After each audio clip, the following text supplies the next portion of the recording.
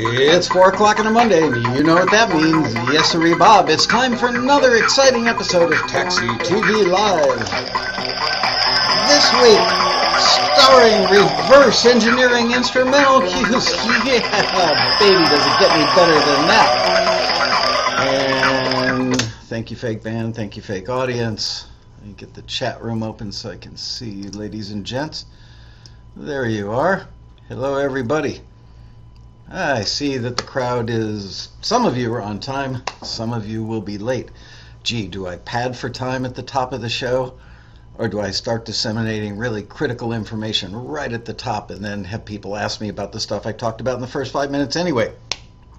Um, first of all, I do have some notes. Notes. Welcome to today's show. And once again, I'd like to thank all of you who joined us at the Road Rally two weekends ago. Man, oh man, was I happy about this year's Road Rally, and I hope that the people who uh, joined us were happy as well. Uh, it was really, really awesome meeting so many of you that I've gotten to know here, uh, gotten to know here in the uh, chat room. Um, uh, on several of the panels in the ballroom, uh, I had Gloria, Gloria Covington, sitting behind me, so I got to kind of be with her a little bit. That was nice. Um, and, and, you'll see in an email that's going out tomorrow. Uh, I, I just want to apologize. There's so many more people that I wished I had time to hang out with and get to know better. But once the rally gets there, yours truly is just running from place to place all the time. And while the vast majority of my time is spent sitting in the ballroom, um, I generally get like, I don't know, three to five minutes between the end of one panel, tidying up from that one, greeting the panelists for the upcoming panel, uh, maybe helping the staff get water and name cards and chairs and stuff organized on stage. And then I'll run to the men's room, which is, I don't know, maybe 500 to 1,000 feet away, and, uh, and then try to get back to the ballroom as fast as I can. And there are always people who are stopping me going, Michael, I've just always wanted to meet you. And I'll say, Hi, nice to meet you. I'm so sorry. I've got to go back into the ballroom. But, but I just have a, a question about a submission I made six months ago. I sent in my song Dirty Water for the XYZ listing. And I'll just look at him and say, I'm so sorry, this is not the time, I can't do it. And I always feel terrible. We actually had one gentleman who I'd known for years that actually refused to um, renew his membership or come to the road rally ever again because he felt that I dissed his wife at the road rally last year or the year before. And I felt terrible about that. I like this guy, I've known him for years. and uh, But man, when it's rally time, uh, I'm just cranking. And believe me, if I could hang out, I would. So my apologies to everybody that I didn't get a chance to meet. Um, let's see, what are folks saying in the chat room? Uh, I didn't get to talk to you, Russell, after I saw you in the elevator. I talked to Russell. I got to actually see Russell a lot, and he was a really, really big help. Um, Thursday morning, getting the database, uh, you know, all the computers set up, and then helping in the grand ballroom. Uh, I want to give a shout out to uh, Neil McTavish and Clark Van Norris. Those guys for years have been setting up the uh, pipe and drape in the back of the room and getting the banners up, and that's not easy, man. Those the bases on the pipe and drape are probably I don't know like 20 pounds a piece. The pipes are pretty light, but the bases are heavy. It's a lot of work, and those guys do it really, really well. And Russell actually helped them this year and maybe last year as well. So uh, Russell says, I got an idea. Throw a Meet Michael party in May. Why May? But, um, you know, I, have done that before where years ago, uh, the Road Rally was actually an idea that came about as a result of me setting up um, pods of members, like 10 members in Chicago, Dallas, New York, um, Los Angeles, San Francisco, Cleveland, I believe. And I went around the country to meet with these member advisory groups, and we would actually just like order tons of junk food and hang out either in a hotel meeting room or sometimes at a member's house for the weekend and do these day long or two day long brainstorming sessions. And if memory serves correctly, the road rally uh, was something that came from those. So I thank you guys for all that. Um, okay, uh, let's see. I see the word disconnect, I immediately go up to my little meters to see if we're online. Uh, anyway, should be online. Uh, we've got no red lights on my end.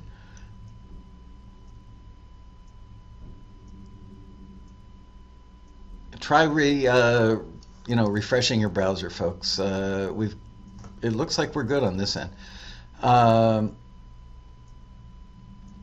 anyway, um, I'm really excited about today's show. Although I have a funny feeling that it's going to be a uh, a two part show because I don't think I'm going to get to everything that I want to get to today. But uh, you know, for years, years, you guys know this. I've been preaching the gospel of earning income by doing uh, instrumental cues. Um, I think it's the fastest, and I hate to say the word uh, easiest, but there's something a little easier about uh, creating instrumental cues that are 60, 90, or 120 seconds long that don't have a lyric and don't have a lead vocal, and they're just easier to create. They don't often require a lot of instrumentation unless you're getting into some like big orchestral stuff. Um, and I think a lot of people are like, enough, Laskow. You know, you've been preaching this for years. Yeah, yeah, yeah, yeah, yeah, yeah. But I'm a creator. I'm a I'm an artiste. I, I want to write songs. And uh, while some people think that creating cues really isn't artful or creative, uh, I tend to disagree. And uh, as I said on stage at least once at the rally, and I believe this is my own little phrase, if I'm stealing it from somebody, God bless them, thanks for the idea but I think I said something to the effect of you can paint houses and portraits. They're not mutually exclusive. So, you know, let's let's call instrumental cues the houses. Let's say the portraits are, you know, your your tour de force songwriting stuff. Um, if you're painting houses, you can be a damn good house painter. Um, you can. There's a lot of craft in, involved in painting houses if you do it well, and there's a lot of craft involved in doing instrumental cues. And I just think it's a faster way and an easier way to earn money. Um, so creating what I like to call stupid, and I'm saying this in quotes with much affection, not uh, insinuating that anybody creates that anybody who creates these is stupid, but I like to call them stupid little instrumental cues. They take some thought and some planning, and I know a bunch of our members who really enjoy creating them. Uh, and one of those people is Dean Krippaehne, and uh, he's done really well for himself doing it. I, have watched him literally since like his ground zero. And uh, bam, I mean, here we are years later, and I believe that he's doing really well. He certainly has a large catalog and gets his stuff in lots of shows. And um, he's written two books, which I'm sure that I featured Demystifying the Cue, which is right there, Exhibit A, Demystifying the Cue by Dean Krippaehne. Um, that came out a couple of years ago, I believe. Um, and then this one came out right before the road rally, probably a week or two before the rally. And the funny thing was, hard to get that without a reflection funny thing was, um, I already knew I had a, a, list of panels that I wanted to do, and I already knew that I wanted Dean to do something because he is one of my favorite public speakers of all time, and I'm including you know like the big guys. Um, years ago, I was doing a film and TV thing in Nashville, like a, a free taxi seminar, a mini road rally, if you will, and uh, Dean was going to be in Nashville at the time. He goes there pretty frequently and I asked Dean if he would join me um, for the speaking engagement at uh, the Loews on West End. And I don't know, we probably had 300 ish people in the ballroom, and uh, Dean got up there and absolutely smoked the place. I mean, he told the story about, uh, and I'm not going to tell the whole story because I want him to save it for a road rally or something someday, but story about when he was a kid growing up in uh, uh, the Seattle area and um, there was like a, a Tacoma, Washington Day, you know, where all the merchants, uh, uh, kind of like a street fair thing, come to downtown, spend your money, eat at the restaurants, kind of thing.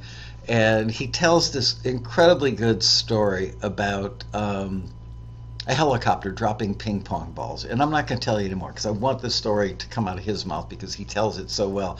I was so taken with his delivery, his sincerity, his cadence, is just everything about his public speaking. I was scared to death to get back on the stage. Huh, it's weird. You guys are getting buffering today. Oh, man. I'm so sorry. I mean, it looks fine on my end. Uh, I'm not getting any red lights, and I've got like five bars. Um, well, I'll keep going for a couple minutes. If I have to restart, I will, but there's there's nothing on my end that should be messing this up. Everything is good. All systems are go here in Calabasas, California. Um,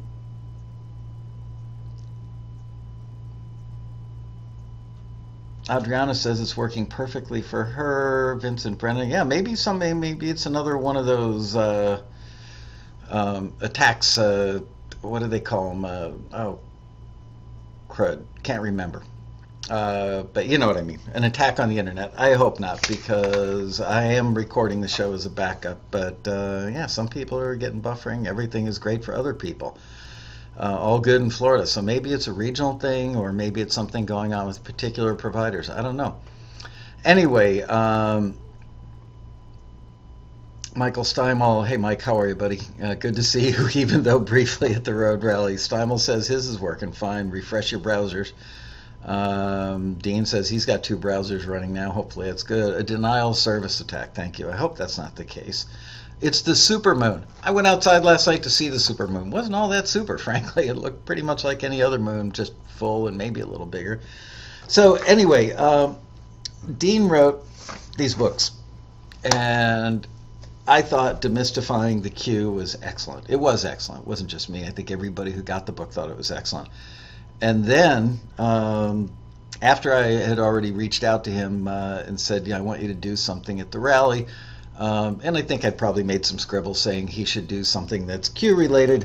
Um, lo and behold, I found out that he came out with the book, Demystifying the Genre, which uh, is an incredibly powerful book. Everybody should get this. I don't make a penny if you buy this book. You know, I never recommend anything that I personally don't feel strongly about. And if I'm making a penny, I would tell you I'm making a penny. So, what we're going to do today is this book describes certain genres, and Dean very uh, nicely, very generously, um, set up links to all these cues so that you can hear them online. So uh, his, during his presentation at the road rally, he would play the full cue, but then break it down and play like you know maybe just the drum part or the bass and the drums or just the bass or the guitars, and did that in order for people, I think, to hear how remarkably simple many of them were are.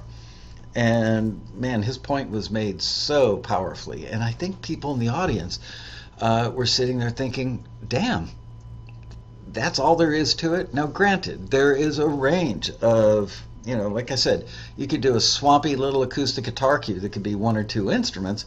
You could do a solo piano cue. It's nothing more than a little cocktail jazz on a on a piano um, or you could do a full blown, big, bombastic orchestral hybrid thing that's great for movie trailers. Although we did find out during the course of the road rally, at least one of the music supervisors or music library owners made the point of saying, you know, the days of the big orchestral um, uh, trailer cue are waning. They're not gone, but they're definitely uh, on the way down. And I've noticed uh, ever since then, I've been watching a lot of trailers um, like I always do.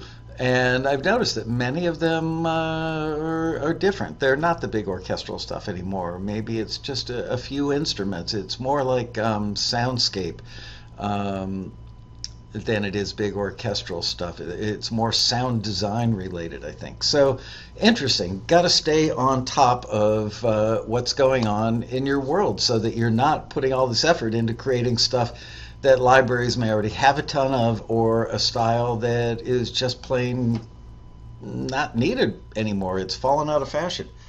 So, without any further ado, I am going to play some stuff. I, have marked up this book and tabbed a lot of pages, and as I was going back over it before the big show, I realized that I'm not going to get all the way through all of these today, so there may be a part two coming.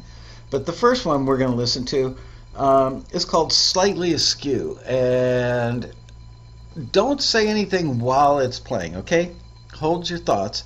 When it's done, I want everybody to type in the genre you think it is. Now, you guys are smarter than the average bear because you watch the show a lot and you know this stuff, but I'm curious to see how many of you in the chat room get the genre right. But wait until I'm done, and in this case, I'm going to play the full cue. So here we go. This is called Slightly Askew.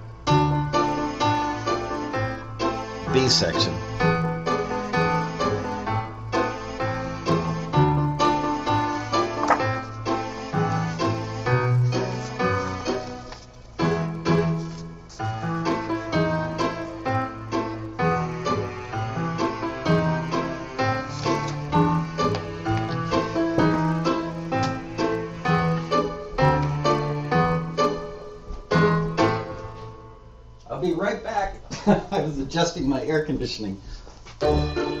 Okay, blurted out. I am very curious to see how many of you folks um, will nail the the genre. Come on. Robbie Hancock says ghostly in a way. Um, there might be a, a genre named ghostly. Dramedy. Broadway show tune, quirky investigative, dramedy, LOL, sneaky ghost, um, dramedy, dramedy, dramedy, classical quirky, dramedy, children's, dramedy, gypsy, Russell Landwehr. Really? dramedy, all right, theatrical, quirky pizzicato media, um, Sherlock Holmes drama, Eastern European folk song. Um, hey, Waddy, Waddy JP says hi all. I don't think that's a genre, Waddy. Um, dramedy, dramedy, drama from Rock and Rod, Nasaf. Okay, bottom line is it's a dramedy cue. Now, let's talk about dramedy cues for a minute. Let's see what Dino says. First of all, it's called Slightly Askew. It's a dramedy cue. Um, pizzicato strings. So much dramedy has pizzicato strings in it. Um, so let me, uh, I actually didn't mark up much on this one. Um, Dean says he's also got an underscore mix of the cue. Uh, as he does with all of his cues. Um, underscore version is the trick for the underscore version is to mute the melody and run off another mix. So uh, in that case, there'd be no piano or clarinet melody in the underscore version. Many underscores are that simple. Just decide what your main melody is and mute it. Underscores are important because quite often a music supervisor will love your cue and want, uh, want the cue's vibe, but the melody conflicts with the actor's dialogue. So, uh, okay, there we have dramedy. But there are subversions um, or subgenres, sorry, of dramedy. And uh, the next cue, which is called Tippy Toad, is another example, and this one's called a spooky dramedy cue. So let's have a listen to Tippy Toad.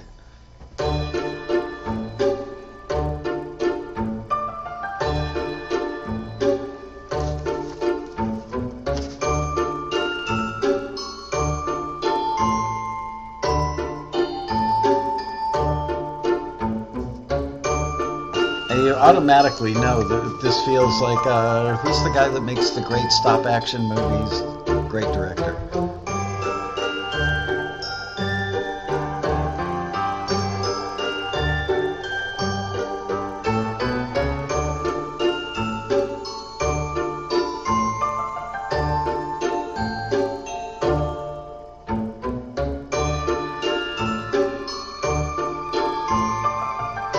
Tim Burton. Yeah, like right out of a Tim Burton movie.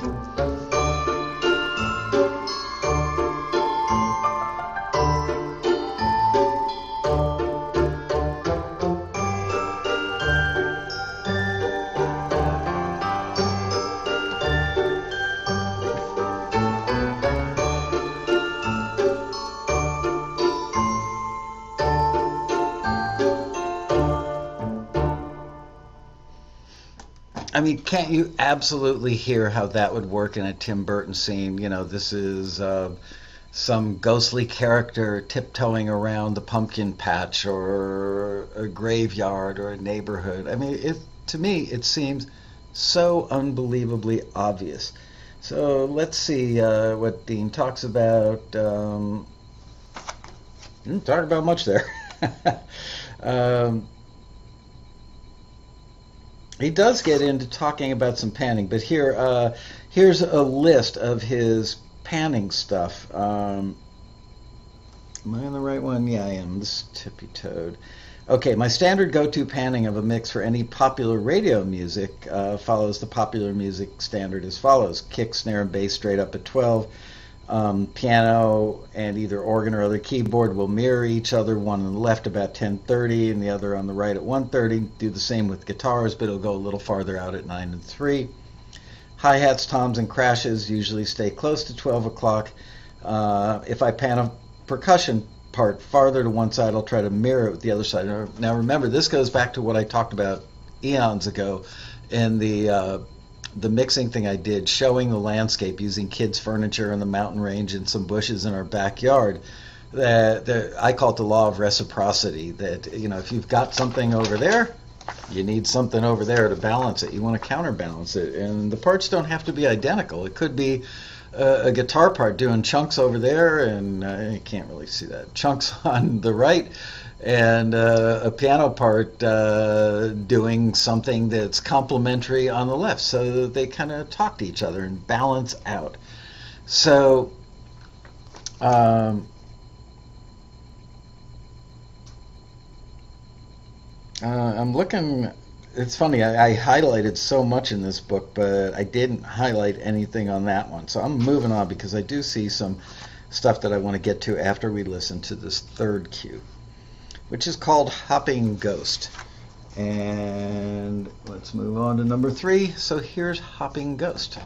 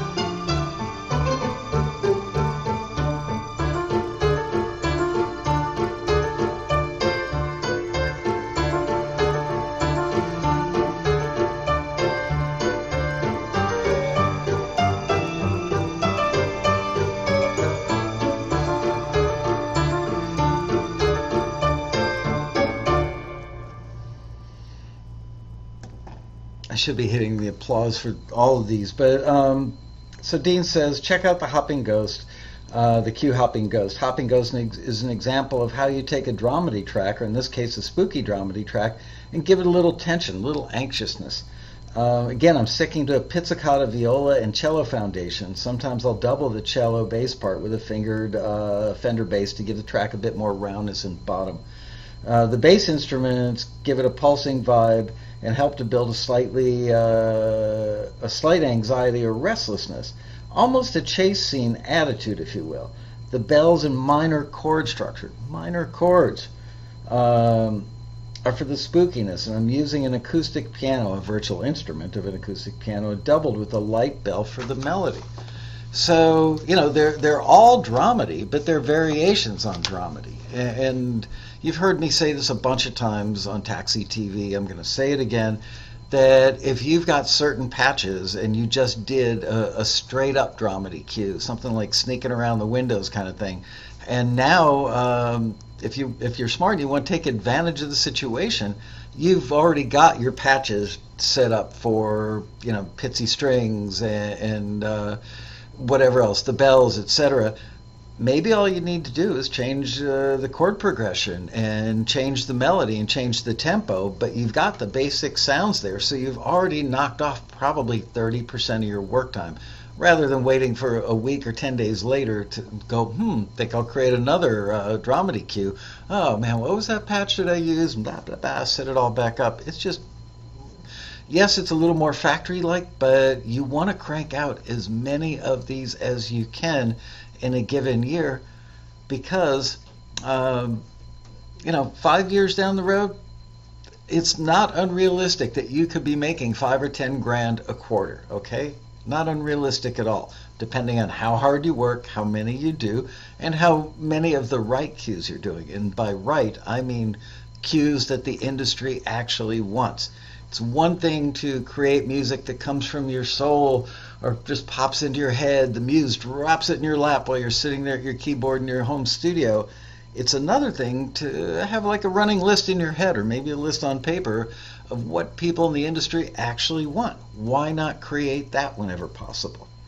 So, uh, at the end of each section, Dean does something which is really cool, which is he does takeaways. And so here are his takeaways for dramedy. Start with pizzicato strings. Makes perfect sense. Pizzicato cello works well as a root, fifth, bass part. Um, write a major key unless writing spooky music. Makes perfect sense. A 145 chord progression works just fine. Uh, I think Dean might have said this. I know I've said it before. When in doubt, you can almost always use a 145 progression. It's amazing. And, and you might think, well, that's so stupid. You know, anybody can do that. Well, yeah, but if it works, okay, that's why I call them stupid little instrumental cues. Why not just create what works? 145 is a great fallback.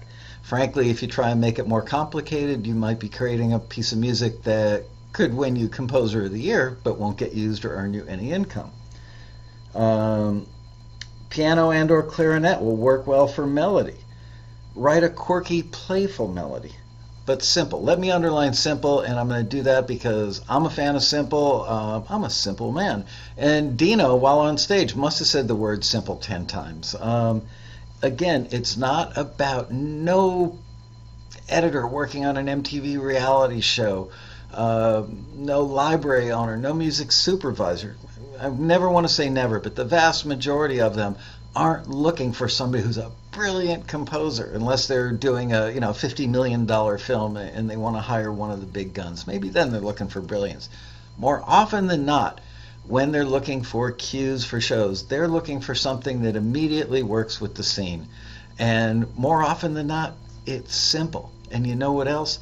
It's just one thing. Did you notice that all those cues basically are an A section all the way through? Maybe a B section, which is kind of like a bridge um, for four bars or something, but for the most part, they start out simple. Um, probably do you know like eight bar chunks and then the next eight bars you introduce another instrument the next eight bars you introduce another instrument boom then you go to four or eight bars for the b section. If there is a b section don't always have to have one. Break it down a little bit build it back up over the next eight bars build it up more the next eight bars and what do we put on the ending a non-faded button or stinger ending bump bump right we know this stuff. Many of you do, not everybody. Um, and I'm just telling you, this is the way to make money with music. Going back to Dean's list of takeaways, um, use a long note viola for a counterpoint melody halfway through the cue. Write it in ABA form. Add light percussion if desired. Mid tempo cues get used a lot. Add your own twist to make it unique. Okay, so all those things considered, let's go back and listen to that one one more time. So this is Hopping Ghost, and it is a spooky dramedy cue. Remember, pizzicato strings, pizzicato cellos work well as the root. Um, in a major key unless you're doing spooky. Uh, a 145 progression. Uh, the form is A, B, A, and you'll see it spends a lot more time probably on the A than the B section light percussion if desired, mid tempo. Um, add your own twist to make it unique. Let's listen one more time.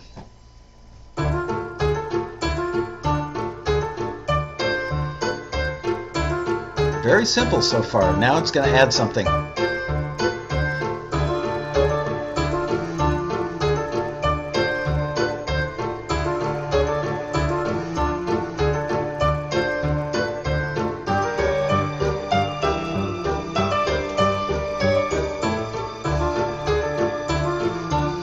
I'm feeling a B section coming up. I wasn't looking at the map.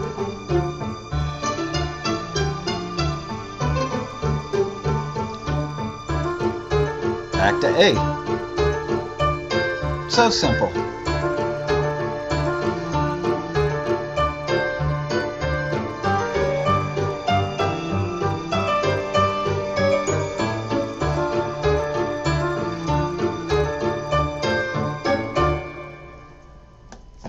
Getting the picture?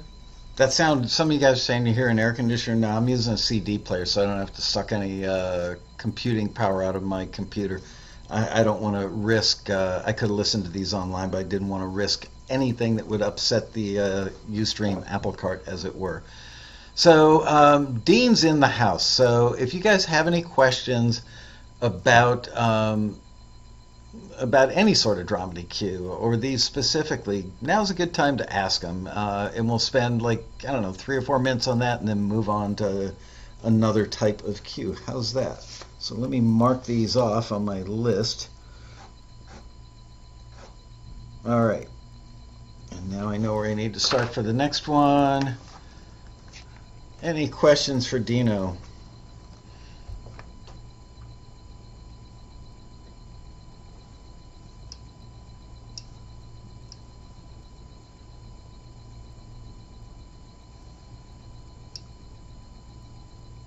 Wow, a lot of anonymous people in the uh, chat room tonight. I want to encourage you guys who haven't signed up um, to follow us on Ustream to do so so that you can get alerts um, from Ustream when the show has started. Uh, ask Dino, yes. Uh, D minor seems, this is from uh, piano, guitar, vocal. Uh, D minor seems to be key for most minor cues. Dean, is that true?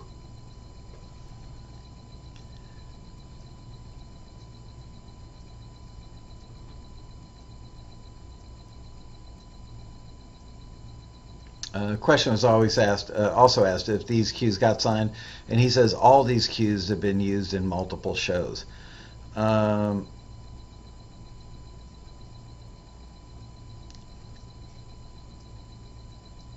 no, Mojo, the CD's actually playing through the NS10s behind me as always. Um,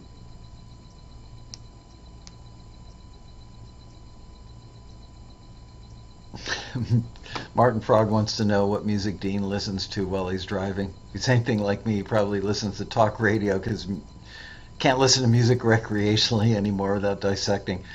Um, Dean says it's C minor, D minor, E minor. Doesn't uh, doesn't matter for the key, but it's minor in this ca case. Question: Going to the four or five chord uh, equals the B section. Um, I'm going to let Dean answer that.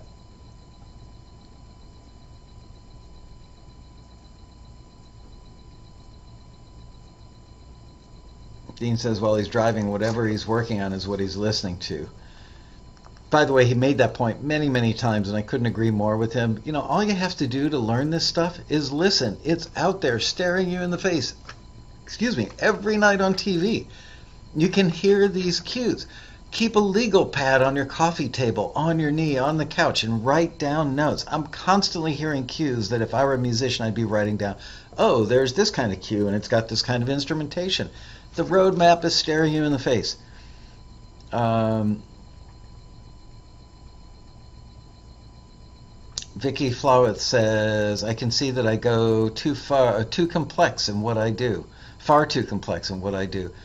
Vicky, it's probably the single most common mistake I would say in people creating cues. Dean made the point several times. He uses really old stuff. He's not. He doesn't have a fifty thousand dollar home studio. Uh, everything he does practically is in the box, and he's really masterful at using old software um, and sample libraries that, frankly, are out of date. But he's just good with them. Um, Russell wants to know, Dean, do you ever do dramedy in major keys?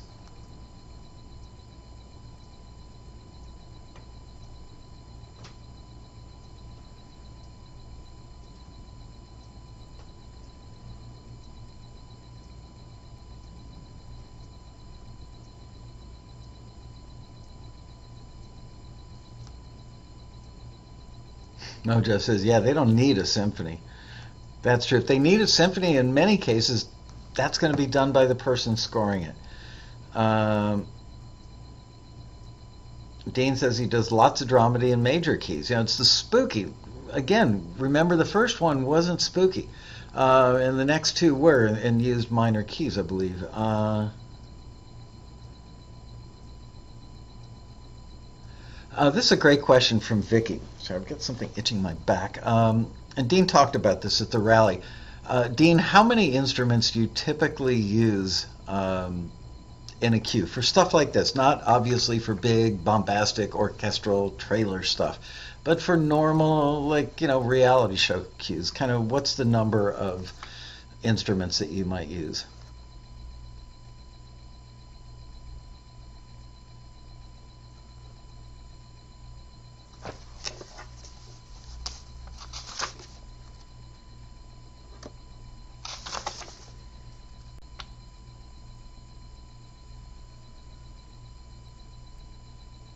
Instruments for dramedy, Dean says four or five. Add pads or ear candy. So isn't that amazing? You know, I, you don't need 48 tracks. And Dean also talked about something that he and I agree very much on, which is uh, go mono. For the vast majority of the parts you're laying down, go mono. Uh, it just makes it easier to mix. You have less things fighting each other. It will make things swim less in the overall landscape of your mix.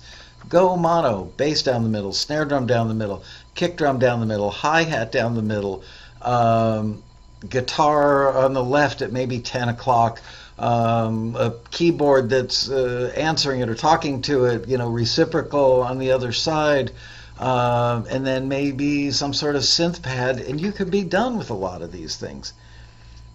Um, Dean says some genres demand more, some simply a solo piano or guitar. I can't type. That's okay. I can't talk. We make a good team, Dean. Um, one of the most common things we hear from our members that they got used in a TV show is solo cocktail or dinner jazz recordings. Um, and as Dean pointed out during his uh, session at the Road Rally, anytime that he feels like he doesn't have the chops to play something that's a little more sophisticated than his chops would allow for, sometimes he'll play it slowly, then speed it up.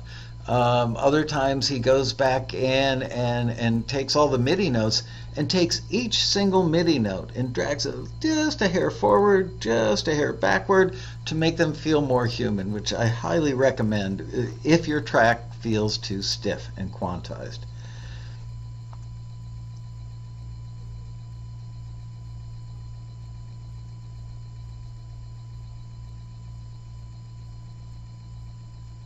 Um, Charles Watson says, How would you define ear candy in this sense? It's a great question. Uh, let's see if Dino picked up on that one.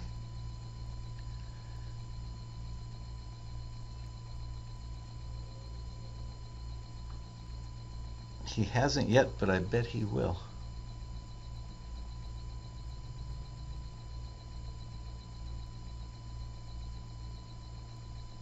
Eh, maybe he didn't hear me.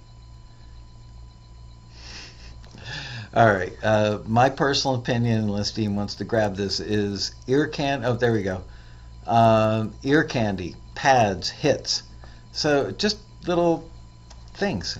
Think of it as salt and pepper. Okay. Bump. That's ear candy. You don't need the bump, but if you put it in there in the right place, just a little thing makes sense. Um, Dean says there are other simple things to move it along. So while you could have the pizzy strings uh, doing their thing in the second eight bars, um, you add um, add a pad or bring in um, legato, you know, whole note string parts just to take it to the next level. You know how we always mention in, in the listings about how your cues should have sort of an arc, start out quickly get into the meat of things, but start out sparse. Get right into the main melody, the main section. Start out sparse. Next eight bars, add something for interest, like a pad. Um, that's ear candy. The next eight bars, maybe add a celeste or something. Then break it down. If you go to a B section, um, you know, it's going to be different chords, different melody, and then after four, eight bars of that, go back to the A section, start out with the sparse, bring it back up, bring it to the full on, you know, ensemble, and then close it out with a, a hard ending. Um, Vicky wants to know, Dean, when choosing instruments, you think about the frequency spectrum? Do you try to cover low, mid, and high in every cue? And Dean says, yes, Vicky, especially with stuff like Omnisphere. Um, too many instances of Omnisphere uh, and frequencies cancel each other out and the cue gets smaller. Um, Mojo says, Vicky, that's a mix and arrangement thing. And Dean says, Mojo is right. Yeah, we talked about that. Dean talked about that during his presentation. And we've talked about that with Rob Chiarelli. We've talked about that with, uh, oh gosh, uh, what's his name? Other uh, engineer mixer guy that was just on the show right before the rally. I'm drawing a blank. Ronan Chris Murphy. So many industry professionals will tell you that the arrangement has so much to do with the overall sound in the mix. And the more simple and more well thought out the arrangement is, the better your piece is going to sound. All right, so um,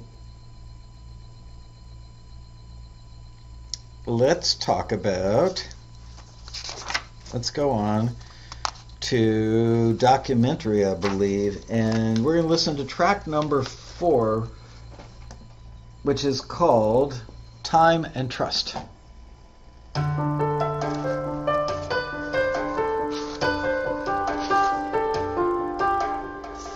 Remember, this is a documentary cue.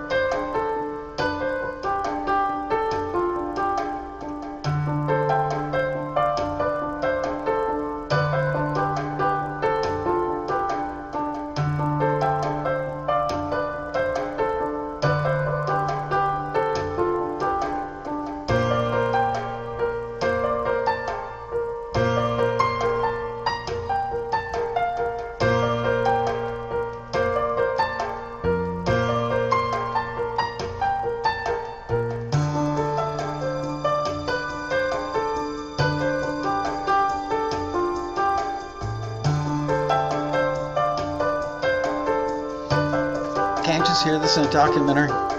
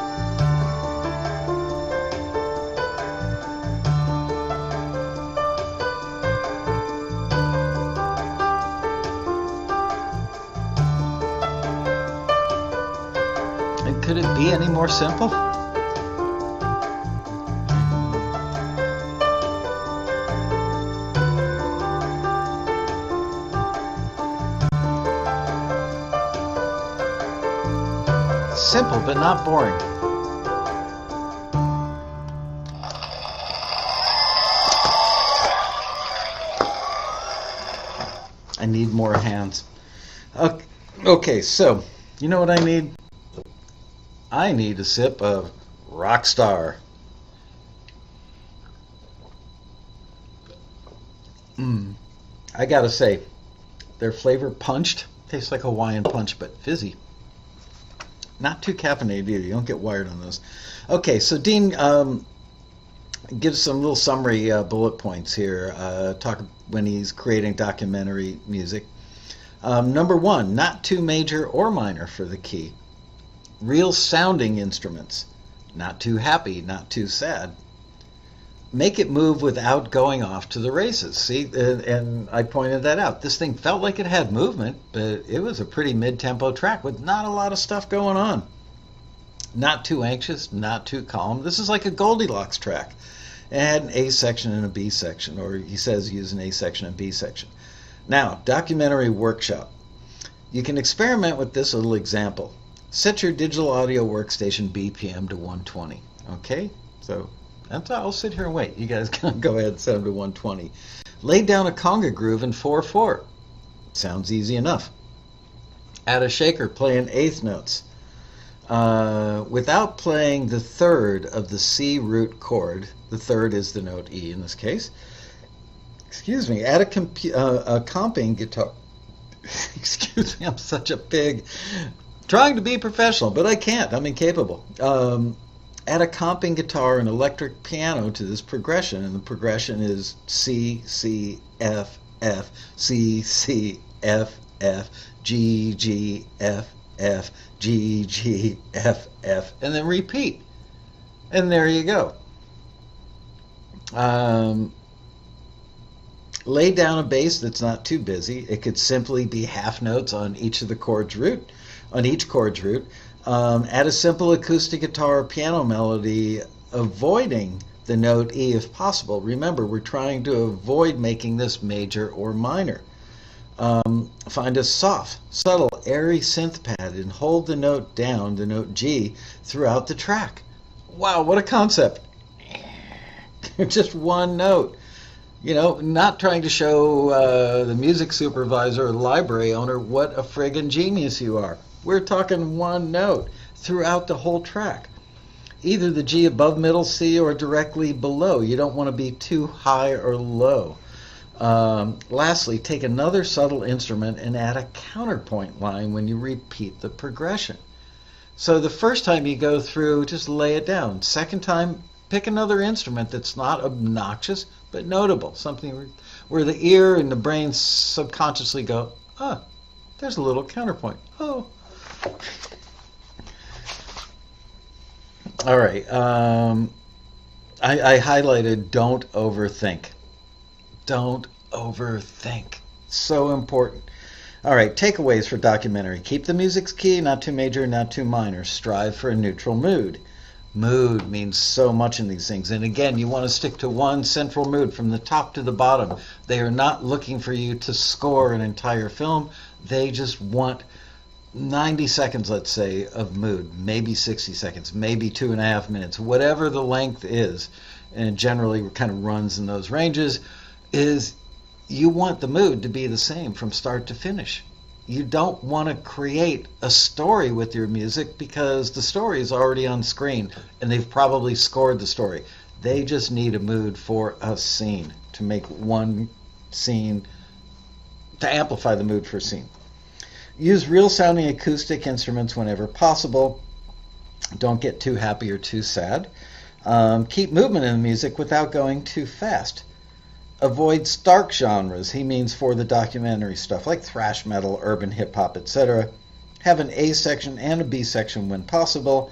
Write and play instruments with an emphasis on subtlety. Subtlety. I wasn't all that subtle then, was I? Use a relatively sparse melody so as not to conflict with the narrator's dialogue. Wow. Duh. I, I'm, I don't call them stupid little instrumental cues for nothing. You know, it just it makes sense. So now um, we're going to move on to. Whoops, where did I go? Rough ride. Shoot. I think I'm out of sync with my numbers. Um, okay, this one, we're getting into southern rock stuff now. Um, Everybody's repeating. Cues need to stick to one mood. Cue, great. It, make it the mantra. Um, that's a good question for Dean. Are the cues in your comfort zone, or do you stretch your skills to make it work? I know the answer, but I'm going to let Dean tell you. Um, I do a lot of cues in my comfort zone, probably adding two or three new to me genres every year. I'm speechless. Common sense makes great sense. Okay, so now we're moving on to one called Haystack Fever, and this is a Southern rock cue. So while this is playing, why don't you make notes as to the instrumentation that you're hearing, okay? And also, if you can, write down how many measures you hear and what's going on um, in, in, those measures. You know, are you hearing bass drums, and guitar? Are you hearing a guitar riff? Are you hearing a harmonica? Um, an organ? Are you hearing cool little guitar licks that would be classified as ear candy? Um, is there a B section? Make notes.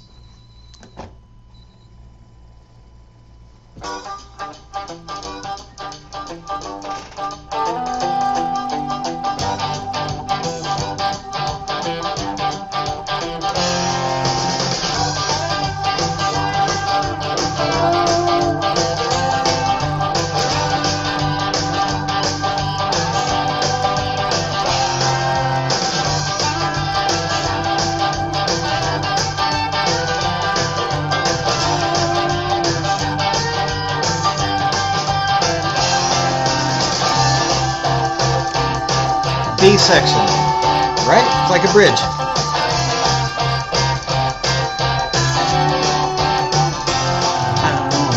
A section, Strip down. Ear candy and the licks, a little fuller here. Full band jamming.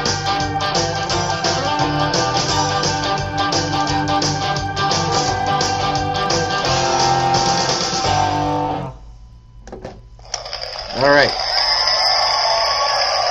And Russell Landwehr has a great question. I'm glad you're here in the chat, Dean. I have a question. I was wondering something.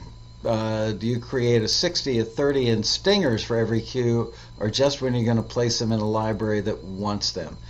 Uh, and Dean's answer is I only create a 15, 30, and sec 15, 30, and 60 second versions if the library demands it. And by the way, for those of you who may be new to the world of cues, the stinger is, could be, just this little ending. I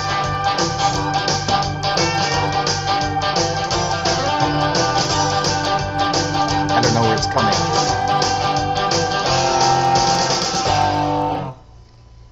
Some libraries will say, give me just a stinger.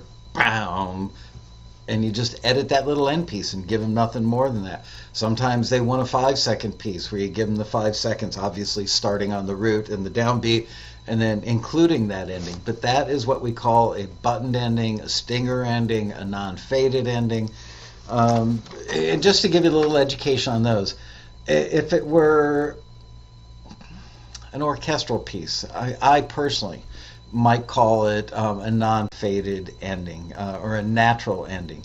Um, if it's a big orchestral thing with synthesizers, it's bigger and bombastic, and it's going to be used maybe in a trailer, then I might call it a stinger ending. Um, if it's just a, like a soft rock band and it ends on that downbeat with a little ring out, then I might call it a button ending. But they're all basically the same thing, which is non-faded, just variations on kind of the impact, the arrangement, the instrumentations that are present at the time that all give you the ta-da at the end. Sometimes it could be cocktail jazz, and it's nothing more than the root note. Could be a root chord, or you know, a chord. Um, it, it could be the full band. It could be a full orchestra. All over the place. Sometimes I personally call it a non-faded ending a buttoned ending, a stinger ending. Uh, there are a couple other things that people call it, but I'm right and they're wrong. I'm kidding. I'm kidding. Uh, Dean, what do you mean by vocal songs? Like a regular song with lyrics or just background vocals? Um, Dean says, Bubbles, yes, regular songs. I'm a songwriter first. Um, Yep, he was a songwriter until I took him by the ears and showed him the cue, the world of cues. I taxi showed him the world of cues, and look what it's done for the boy. Um,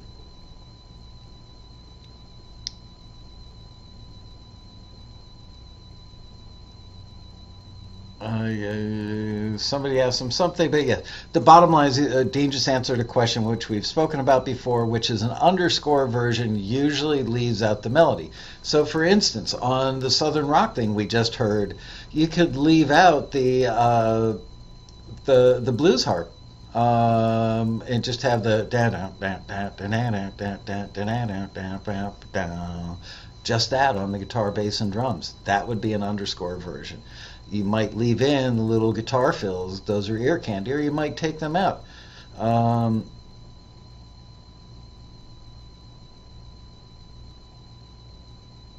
Uh, somebody just asked piano, guitar, vocal. Just said, Dean, do you, do you play harmonica on that last cue? Um, Dean says, I like to play real instruments when I can. Dean says, Yes, I played real harmonica. By the way, something that Dean talked about that I could not agree more with is you can trick the brain of the listener. You know how they're always saying, I want organic stuff, I don't want to sound too synthy, stiff, or MIDI related. Um, you can create a track that I would say is an A minus uh, with a lot of not all that impressive software. And the minute that you lay down maybe a real acoustic guitar part, you could even put down, believe it or not, sampled acoustic guitars like whole notes drums or something but then maybe put down a second acoustic guitar that's played by you, a human being, into a microphone, you would be shocked at how that ramps up the believability and authenticity of that track. Throw something in there like a real blues harp, and whoa, check that out. Um, all of a sudden, it sounds very, very real. Um, FDR99 says, What about drums, Dean? Are they usually MIDI or real? To which Dean says, MIDI drums. I love EZdrummer. it's rare that you'll hear me endorse something. I think EZdrummer is the shiz. Um, you know what? If you've never used drums, EZdrummer's amazing. Um, the folks at Sonoma Wireworks just came out with uh, DrumCore 4. That one I've heard great stuff about as well, though I've not personally used it. Um, you'd be surprised how intuitive these things are, how relatively easy they are. You don't have to be a computer programmer to learn this stuff. Um,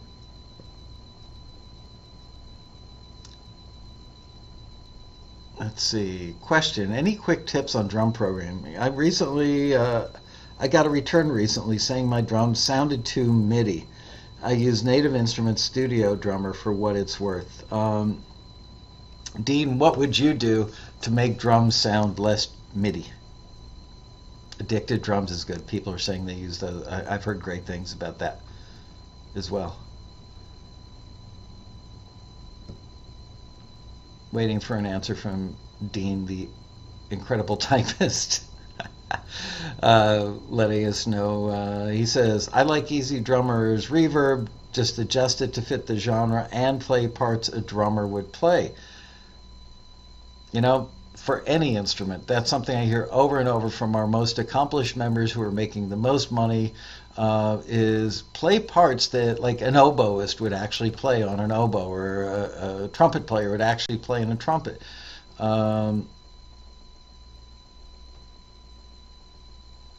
play parts like a real drummer would play. And and Dean, can you address the issue of uh, sounding contemporary. Like, you know, you could play parts like a real drummer would play, but it sounds like 1979 versus something that is, is very contemporary sounding.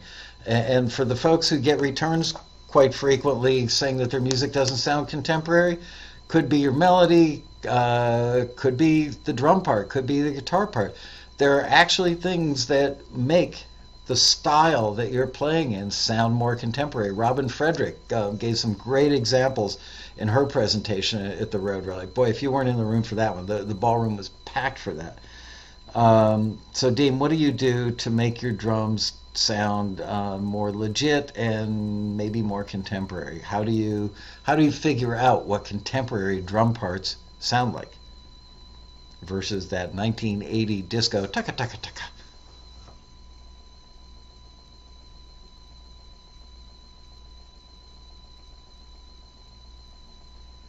Amanda's in the house? Hey, Amanda. Nice to meet you for a brief moment at the road rally. Yay, thank you for coming all that way. Um, Dean says, yes, listen, listen, listen, and play the part that your genre's style demands.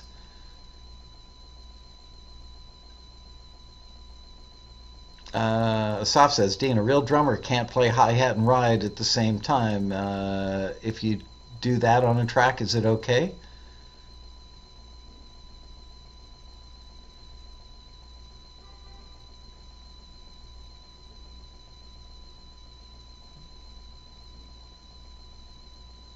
Bob LaGrasso, hey Bob, uh, says Robin was great. I bought two books. Yeah, she's amazing. That woman put so much research and so much energy and expertise in her presentations. Um,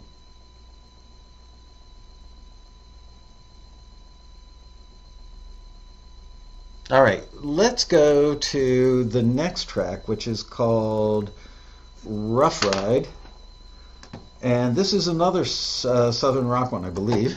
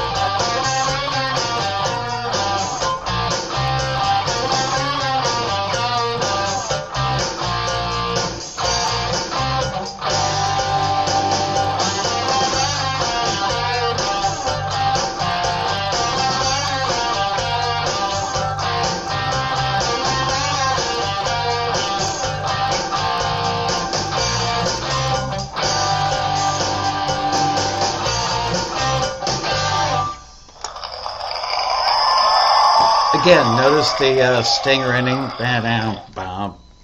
There you have it. So let's do a little recap that Dean wrote in the book uh, for Rough Ride, which is a Southern rock cue. He says, uh, record the kick drum in the desired tempo, four on the floor. Duh. Uh, write and record a guitar riff, minor key, but not too minor sounding. Um, double the guitar riff. I mean, come on, we're talking a kick drum and a guitar riff that's doubled so far. Add the drum kit. Add the bass. Add an organ and percussion. Again, don't try and win any awards for uh, creativity on the percussion. Feel the groove. Play some of the percussion by hand. Give it a pocket. Add a few guitar sweeteners, just a you know, little licks. Mix and serve. How can you not love that? Does it really get any easier than that? I mean, it's, but you know what? I'll bet you that cue has probably been used like a hundred times. That's the kind of thing that makes money. Um, Duck Dynasty. Tell me they wouldn't use that cue. And speaking of which, I know that Dean's got a lot of stuff that's been on Duck Dynasty. Uh, Amanda, you're still here in California? Awesome. Um, this is what sunshine looks like, Amanda. but you've got beautiful emerald green rolling hills where you're from. We've got brown, kind of dried out hills that occasionally catch fire, sadly. Um, okay, let's move on to a southern swamp cue called Frog Hunt. Um, okay, I'm going to tell you about this one in advance. Uh, it's simple and very short cue using slide acoustic and electric guitars to emulate a dobro. Dean says he doesn't own a dobro. Let's see how well he does at faking us out. Give it a listen. Uh, charted out, it looks like this an A section, which is four measures slide guitar, shaker, and electric guitar doing a pulse. Four measures add female ahs. Four measures add bass, kick, and tambourine. Four measures of a repetition of the bass, kick, and tambourine. Um, four measures adding a djembe for percussion four measures of the same. So we've got 4, 8, 12, 16, 20, 24 measures. Um, and we're going to listen for the fake dobro and see how Dean did. And am I on the right one? This is number seven, Frog Hunt. Here we go.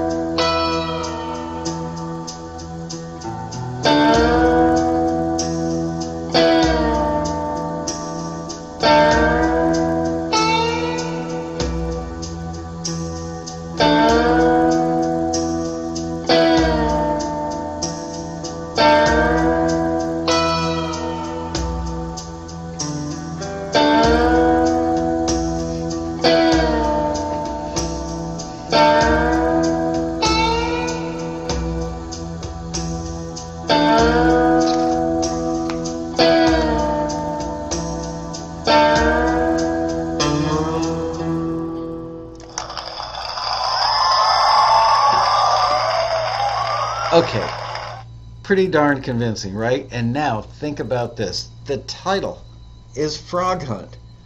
If you are a music if you're a video editor and your music supervisor hands you a bin of music or a drive of music to use and you've got a scene where one of those swampy shows. Let, us use Duck Dynasty again, where they're going out to. Uh, sorry for all the frog lovers out there. They're going out at nighttime with the little headlamps on and a light hanging off the side of the boat, and they're going around the banks of a pond or a river, and they're going to gig them some frogs.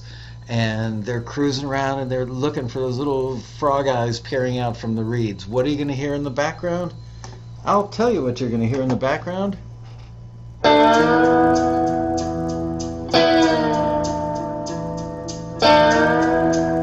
And right there, they've established a location, right? They've established a vibe, a mood, and a location. And then they're going to bring the music down, and that's when the dialogue is going to sit on top of it. And this is going to ride in the background. Am I crazy? No. You know I'm right. Is Dino right? Yep. Russell says, poor little gigged froggies. Um, yeah, I, I got to say, as a kid, I love frogs. Always had tons of frogs as pets. Um, Liquid Fusion says, Michael, this is a great show. Thank you. Um, we have Dean to thank for much of that.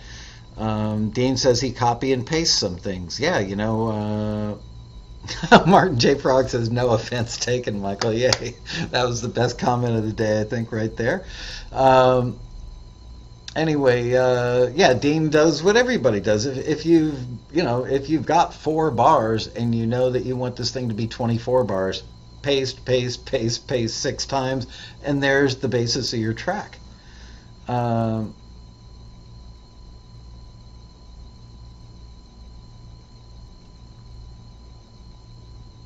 yeah, now we're into talking about frog legs, which I gotta say, tastes like chicken in a very good way. Um, don't let the frog legs jump out of the pan. No, no, let's get off the frog legs. We're going to hurt somebody's feelings that loves frogs, but they do taste really good. Okay, so how we doing? We're doing okay on time. Um, so there you have it. Southern rock and southern swamp. Keep your cues led by guitar riffs. Build by adding instruments every four to eight measures. It's the same thing for practically any kind of cue. Stick to stereotypical Southern rock instruments and bada bing, you're making money. Yes, you are. Um, he, he has a note here. It says, with, this, with a genre like Southern rock, there have been many hit bands throughout the years showing us exactly how to play this kind of music. Because of this, we have a textbook in every song, uh, a college course in every band, and can gain our PhD in Southern rockology by studying, listening, and reverse engineering every facet of the band's songs. Take the initiative. Commit to figuring it out. Don't be a lazy butt. And then, he didn't say that, I added that. And then get into your studio and make something happen. Um, takeaways for Southern rock. There are multiple genres within Southern rock. You'll find that to be true for a lot of genres of cues. Typical Southern rock moods. Think bar fight, Harleys, tough, rough, truckers, Southern rock bands, Lynyrd Skynyrd, Marshall Tucker Band, 38 Special, uh, ZZ Top, those guys would all fall in that category. Common instrumentation, rock and drums, bass, crunchy guitars, B3 organ. Um, let's see, added instruments for Southern rock vibe, dobro, slide guitar, blues harp, banjo. Southern rock is a guitar riff driven is guitar riff driven as opposed to traditional melodic structure. It's got an A section and a B section. All right. Um, all right. Got that, got that. I'm looking for my next underline. Um, here's the thing. Uh, Dean has these things in the book called Q-tips, which I thought was a great name. I'm going to steal that from you, Dino. Q-tip. I almost always put too much garbage into my music. Too many notes in the melody, too many chords, too many lyrics if it's a vocal piece, too many notes in the bass line, too much ear candy, too many effects, too much of everything. I wish I didn't do this, but it's just the way I'm wired. When I put too much junk in my music, it pretty much always sucks. My work usually starts sounding good when I begin weeding, taking out some of the notes, getting rid of and getting rid of some of the parts, toning down or eliminating some of the effects altogether. I call this project process weed and feed. I think it sounds like I smoked some weed there. Um, get the weeds out of the garden and feed the plants with space. Space. Give them room to breathe. They'll all be able to soak up the sun and the rain and grow big and beautiful. Soon the entire neighborhood will want to come and gaze upon your green thumbs creation, meaning library owners and music supervisors will want to use your music. All right. Um, let's do one more. Um, I just did frog. Okay, now we're getting into happy, upbeat, and positive, which is a good way to end today's show. Um, breakfast cereal. Think breakfast cereal. It's a brand new day. The sun is, uh, the bright sun is smiling.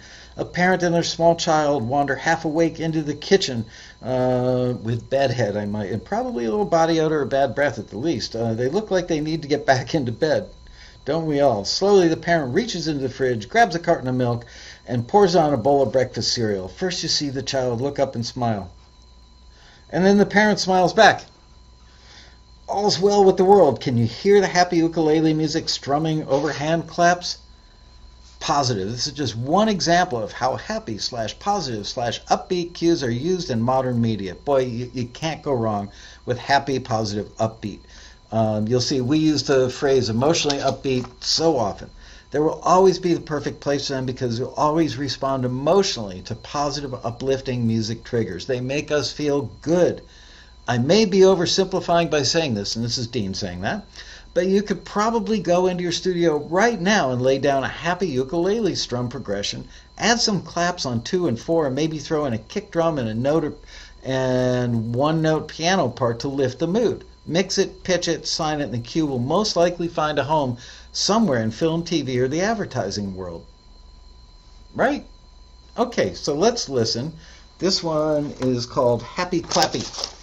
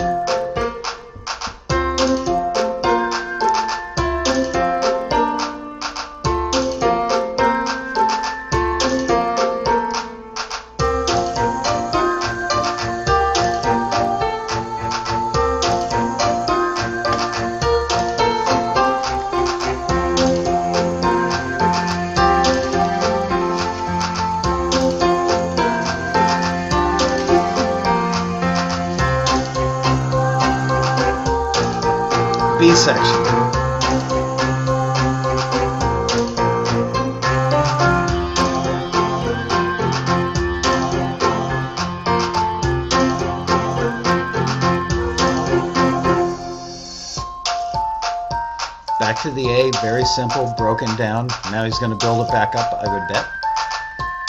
Right about here.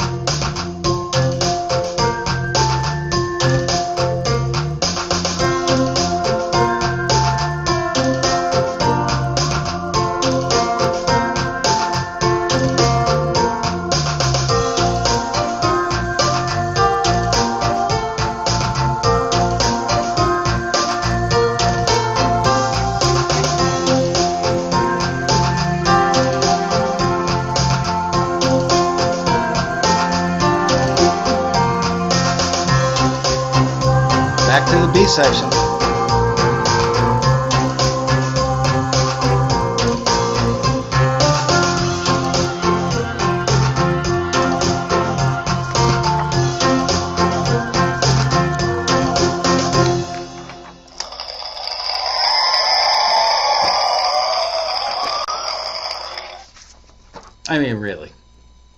I love Dean. He's a great guy.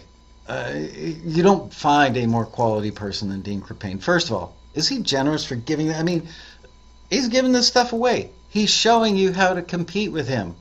Why is he not worried about that? Because he's built enough enough trust by acting like a good business person and a talented musician that he's got enough work for himself, and it's just growing, and it compounds. That's the thing. You know, somebody asked before um, in the chat room how many. Uh, cues did he have before he started making money? And he said 800 cues before I started a, an, um, a, a decent living.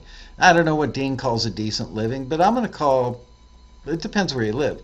50k a year, a decent living. Okay, so 800 cues. Let's break out the calculator. So let's say that you do um, a cue a day for 50 weeks a year times six days a week. So that's 300 cues a year. Let's say two thirds of those cues, because you've gotten pretty good after about half a year you're doing it. Let's say eventually you're getting like uh, 200 cues a year signed into libraries. So you're looking at a year of learning, let's say, a year where you're probably not going to get a whole lot signed, but you're going to get good. Then the second year, um, 200 cues. If you're, uh, you know, you've earned your stripes and you're getting really productive and you're doing a cue a day. Um, and you're getting two thirds of those picked up by various libraries. Um, and, and please, dear God, don't stick them all in one library, okay? Stick them in 10 or 20 different libraries. You want to spread your bets. And not all libraries are good at the same thing. Some people are really good at getting trailer placements. Other people are really good at getting dramatic placements uh, in TV dramas. Other people are really good at getting um, reality TV placements. Some libraries can do a couple of things, but you will find that different libraries, different publishers are good at different things, and they all have ebb and flow. Somebody may be really hot for you one year, and you think, man, I'm going to send everything I make to just those guys you'll live to regret that decision. You got it's like the stock market, you know, you you buy whatever stock, buy an S&P index fund through Vanguard or something, stick the money in there, and no matter how high the market goes or how low it goes, just hang in there. Save it for retirement. So now you get 200 cues a year picked up for the next four years. All of a sudden, you've got 800 cues out there in the market, and you're making a decent living, which I'm calling 50 grand a year. So there you go. Um, of course, somebody's saying 800 times $5 entry is $4,000. Uh, you know what? At some point, the libraries are going to know you. They're going to trust you. They're going to add you to their list of people that they reach out to, and you get to bypass taxi. But you got to earn that trust. You've got to deliver on time. You've got to be consistently great. Uh, and you know what? Some people think, oh, I've got a publisher. Oh, I've got three publishers. I don't need taxi anymore. Even people like Dean and some of the other veterans will occasionally still pitch to taxi listings. They still look at them and they pitch to them because they want to add more libraries. There are new libraries popping up all the time. Some of the old ones get stale. Um, some of the new ones are started by music supervisors that are really well connected in their own little world. Um, so you always want to be looking at new avenues. Um, Dean says, finding good libraries, A, submit through taxi, B, ask other members at the road rally. He's right. Um, and somebody asked a question, do you go for exclusive or non-exclusive? And Dean says both non-exclusive and exclusive. Um, apparently Liquid Fusion asked a question, uh, and somebody says not every one of his tracks was submitted through Taxi. Once the doors are open with libraries, they'll work with you directly in so many words. Um, all I can say, if I can give Taxi a little pat in the back, in the back of the book, and Dean, seriously, when I saw this, you have no idea how much this meant to me. Um, acknowledgments. Thanks to all my composer camp friends. You guys rock. Many thanks to Michael Laskow and the staff at Taxi, Taxi.com, uh, for teaching me what a cue is and opening the doors to so many publishers over the years. Also, heartfelt thanks to my wife and family. so, Taxi made it in there before Dean's wife and kids. Um, how did that go that night when this book came out and you sat down for dinner? But I do appreciate Dean. You know that, right? Um, I, I'm thrilled that what we get to do for a living around here is open the eyes for people like you and open the door, and the smart ones go, I can do this. And it ain't that friggin' hard. It just requires constant, steady work, and it's fun. Painting houses can be fun. Um, okay, a couple more questions before we wrap this puppy up. Um, Dean was a kick at the rally. Now, I wouldn't use the word kick because his foot is still injured. I, I think he was upstairs icing that sucker at night. Um, he wasn't kicking anything other than kicking back, maybe. Now, he, Dean's a great guy. Uh, Amanda says, I'm her university. Thanks, Amanda. Um, I couldn't do it without people like Dean and the staff here at Taxi and the the screeners and the people that are on the panels at the road rally. It takes a village. Um, couple more questions before we call it a day. Look at that, people bugging out already. So should we do this next week? Should we do a few more next week, and then uh, if Dean can come back, we'll spend a lot more time on Q and A stuff. Does that sound like a good idea?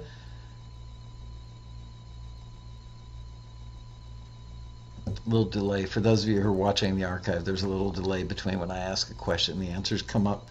Uh, meanwhile, while the delay is happening, let me show you the covers again of Dean's book. And again, I don't make a penny. Demystifying the Cue by Dean Krippaehne on Amazon. Demystifying the Genre, also by Dean Krippaehne, also on Amazon. Um, this is very useful. Thanks for a fun rally. Yes, plus one, plus one. Sure, I'll come back. Thank you, Dean. Um, Bubbles, you're not a member at Taxi. I'd love to get into the libraries. Dan, you've been watching this show for how many years? You're not a member yet?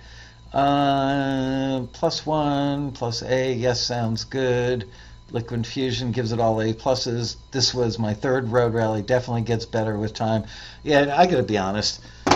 I felt so damn good about this year's road rally. I don't know how I'm going to beat it next year. It's scaring the you know what out of me. Uh, Amanda says the road rally is incredible. Thank you. And by the way, for those of you who are in the chat room that were at the rally, please send um, emails to memberservices at taxi.com. Uh, I, I would love some. They don't have to be 300 words. Actually, I'd prefer it if it's just a paragraph or two. But I do like to take quotable quotes from people who were actually at the road rally and use that to next year. Why every single person who's a member doesn't come to the road rally is perplexing to me. We give away so much information. There's so many people that you can network with, collaborate with, industry pros you can have a beer with. You can go to the mentor lunch. You can do one-to-one mentoring. It's just like this smorgasbord of everything you've ever wanted for your whole life in one place at one time. And the icing on the cake is it's the greatest group of musicians you'd ever want to meet. The people are friendly, they're giving, they're generous, they're smart.